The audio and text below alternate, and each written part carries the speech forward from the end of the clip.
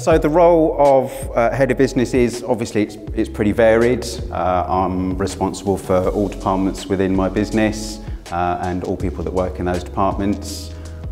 Probably the thing that gets me going the most is, is working with the team, um, finding out what each person wants out of the job because everybody comes to work obviously for money, but they, they, they will have a different reason for turning up to work every day and for um, trying to do the, you know, the best in their particular role.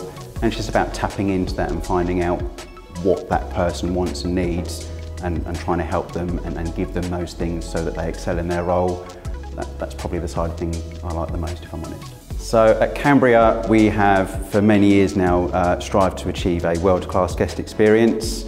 Uh, and that can be many things to many people. For me, it, really boils down to every interaction we have with a guest, be it on the phone, by an email, face to face in the showroom or out visiting them, whatever it may be, that when that has finished, they have a smile, they have, a, a, have had a positive experience and they feel that they would be happy to, to talk to others about the experience they've shared with us. Because if I can leave people with a smile, I think we've done a decent job.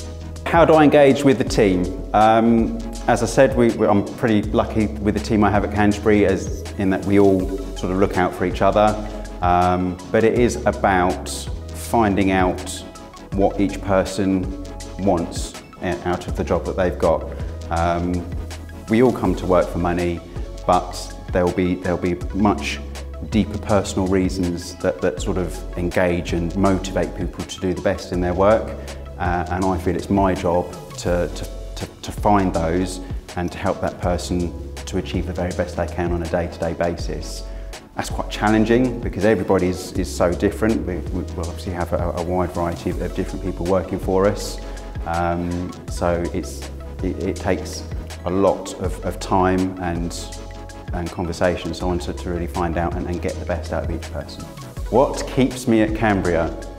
Um, Cambria, the people. It's, we are a people business.